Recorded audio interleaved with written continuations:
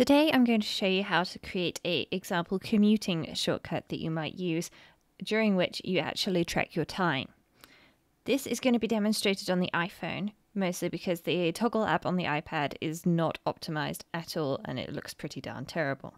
So, to start with, this is an empty shortcut. We need to start at the very beginning, so we need to be able to start and stop depending on what we're doing. What do we need to do to start with? We need to make a choice. And in this case, we're going to use a menu. In this case, the menu is just going to provide us with a name. It's not going to actually provide us with any output. And that means that we can do stopping and starting. And you can rearrange these options as you like. Now, to start with, when we want to start our commuting timer, now, to find the Toggl timers that are donated to Siri, you can actually scroll down and then you should be able to find Toggl. And as you can see, I've got a few different ones here.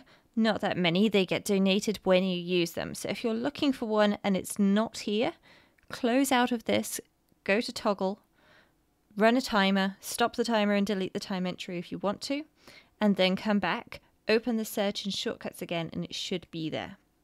So, as you can see here, we have start timer for commuting.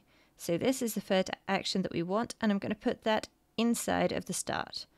Now, show when run means that when I run it, if I choose the start option, it's going to actually pop up a little option.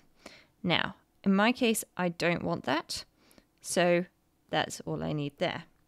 Now, when we stop, I want to be able to stop the currently running shortcut.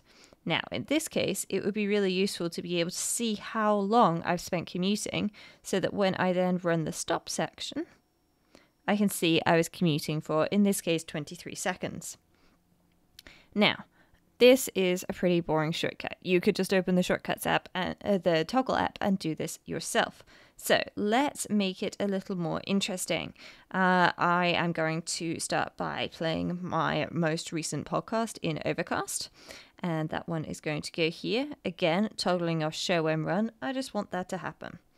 And then I am going to open maps and I am going to get directions to, I need an address to get directions to. Work, which is going to be one Apple Way, Cupertino, California. 95014. I wish. And I'll be driving there. It might take me a little while to get there from Austria, but it'll be fine. Now, I have all of this here, and what happens then when I run the shortcut to start my commute? It will start my commute, it will start playing my most recent podcast in Overcast, and it's going to try and get me directions. It's going to struggle. There's a lot of ocean between me and California. I'm sure one day Apple will figure that out. Good. Now, what about when I'm coming home? When I'm coming home from work, I like to listen to some music to relax. So I'm just going to find some music. And this, you can add any kind of filters that you like. So, for example, you might want to specify that it is something with a nice high rating. Um, and let's just say four, uh, greater than or equal to. So anything that's got more than or equal to four stars. And then I'm going to play that music that I have just found. I will shuffle, and I don't want any repeating. Thank you very much. Um, so that's after I've got out of the car on the way home. And then what I might want to do as well is I'm going to run the beach wave scenes on the lovely new Nanoleaf that I have. So I have some Nanoleaf light panels. And then when I come home, what's it going to do? Let's try that. So I'm going to say stop. I'm stopping commuting. I can see I've been commuting for one hour and 14 seconds. I'm going to find that music play that music, which might take a little while, and then it's going to set my HomeKit scene. And that is how you can integrate shortcuts to track your time into other shortcuts that may be useful for you as well.